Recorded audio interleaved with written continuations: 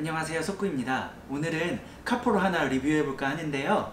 D'Addario Planet Wave에서 나온 요 Tri-Action 카포를 한번 살펴보겠습니다. Tri-Action 카포의 외관을 한번 먼저 살펴보겠습니다. 보시면 전체적인 느낌은 이제 집게형 카포처럼 보이고요. 그 다음에 여기 스프링도 있고요. 이쪽에 플라스틱으로 만들어진 홈도 하나 있습니다. 자세하게 살펴보면 기타 줄이 닿는 곳은 이제 고무로 이렇게 다 둘러싸여 있고요 neck 뒤쪽에 닿는 부분 역시 고무로 패킹이 되어 있습니다. 그리고 아까 본 것처럼 이렇게 집게형처럼 쓰게 되는데 이 뒤에 스프링이 움직이면서 이제 움직이게 되죠. 전체적인 외관 자체는 깔끔한 편이고 색도 고르게 잘 입혀져 있습니다. 그런데 이 Tri-Action 카포에는 장점이 세 가지가 있습니다. 그 부분에 대해서 이제 알아보도록 하죠 이제 Tri-Action 카포의 장점을 알아보려면 기존의 카포들의 특징을 알아야 합니다. 그래서 그것부터 한번 설명을 해드릴게요.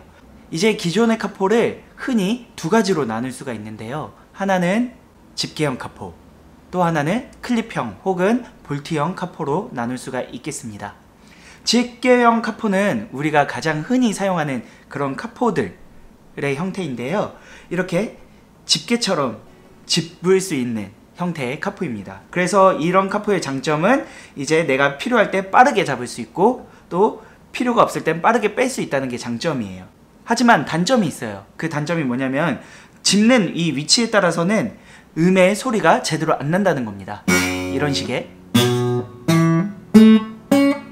버징이 생기거나 혹은 음이 높아지는 피치가 불안정해지는 증상이 나타날 수가 있어요. 그래서 처음 잡을 때는 좀 신경 써서 잡아줘야 이제 제대로 된 소리가 나고 또 가끔 이제 이 스프링이 너무 연약해지거나 하면은 잘 잡아도 buzzing이 생기는 경우는 있습니다. 그럼 반대로 이런 클립형 혹은 볼트형 카포의 장점은 뭐냐면 내가 아예 처음부터 짚는 세기를 결정을 할 수가 있어요.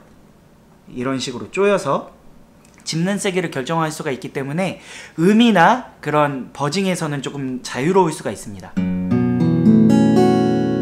하지만 단점은 뭐냐면 내가 필요하거나 혹은 내가 필요 없을 때 빨리 꽂고 빨리 빼는 게 불편하다는 게 단점이겠죠.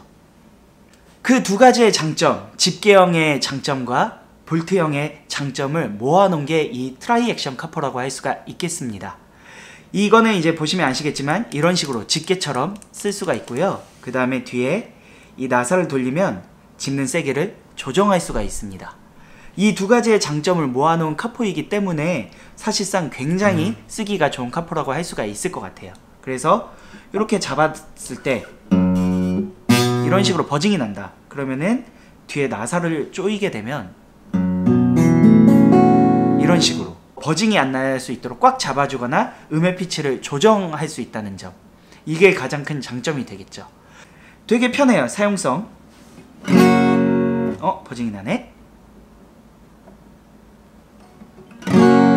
이런 식으로 사용할 수 있다는 게 가장 큰 장점이겠죠 네 그리고 집게형 카포의 경우 buzzing이 나면 안 되기 때문에 대체적으로 처음 장력이 좀 센 편입니다 그래서 이게 좀 손에 힘이 많이 들어가는 편이에요. 그런데 요 Tri-Action 카포 같은 경우에는 되게 부드럽게 움직입니다.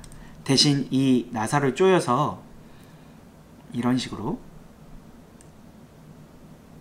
장력을 세게 주게 되면 이제 누르기는 좀 힘들어지죠 그래서 평소에 쓰실 때는 자기가 주로 사용하는 정도의 그 장력을 기타에 꽂아보면 충분히 아실 수 있을 거예요. 그 정도로 이 나사를 조정해 두신 후에 사용을 하시는 게 좀 더 편하게 쓸 수 있는 방법 중에 하나입니다. 그리고 마지막 이 카포의 장점 중에 하나 바로 이 부분 이 플라스틱 돌기가 이렇게 있는 이 플라스틱 부분인데요. 여기는 무슨 부분이냐면은 피크를 꽂을 수 있게 되어 있는 부분이에요 이런 식으로 피크 하나를 꽂아두고 이제 사용할 수가 있습니다 요거는 이제 생각보다 괜찮은 아이디어라고 저는 생각했는데 한 가지 제 입장에서는 조금 불편한 게 있더라고요 그게 뭐였냐면 일단 이렇게 피크가 꽂혀 있는 상태에서는 잡을 때 되게 거슬립니다 이 피크가 이렇게 돌아가기도 하고 제대로 안 꽂아놨으면 피크가 떨어지는 일도 생길 수가 있을 것 같아요. 그래서 좀 신경이 쓰이더라고요. 요건 조금 아쉬웠던 부분이고 그 다음에 또 하나는 뭐냐면 이게 플라스틱으로 되어 있다 보니까 이런 두꺼운 피크를 주로 쓰는 사람들은 일단 꽂는 것 자체가 힘들어요. 그리고 이 두꺼운 피크를 꽂아두게 되면 이 플라스틱 부분이 조금 늘어나더라고요. 그러면은 나중에 얇은 피크를 낄 때 이런 식으로 좀 헐렁해집니다. 물론 이 두꺼운 피크를 꽂은 후에 어느 정도 시간이 지나면 얘가 다시 살짝 아, 오므라들어서 얇은 피크를 꽂을 수는 있더라고요. 근데 이건 좀 아쉬웠습니다.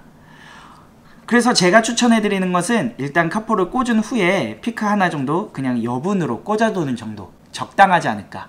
그래서 연주를 하다가 피크를 놓치거나 했을 때 급하게 빼서 쓸 수 있는 정도로 사용할 수 있는 그런 홀더라고 보시는 게 좋을 것 같습니다. 네 오늘 이렇게 Tri-Action 카포에 대해서 알아봤습니다. 이 카포는 확실히 장점이 명확한 카포입니다. 집게형처럼 편히 쓸 수 있고 그 다음에 볼트형처럼 음의 안정감을 가져갈 수 있는 그런 카포라고 볼 수 있을 것 같고요. 두 가지 다 놓치기 싫으신 분들을 위해서 추천을 해드리기 좋은 카포입니다. 음에도 민감하고 그 다음에 빨리 카포를 써야 하는 상황이 많은 분들에게 추천을 해드리고 싶은 그러한 카포입니다. 오늘은 이렇게 Tri-Action 카포에 대해서 알아봤고요. 다음번에는 다른 액세서리로 찾아오도록 하겠습니다. 감사합니다.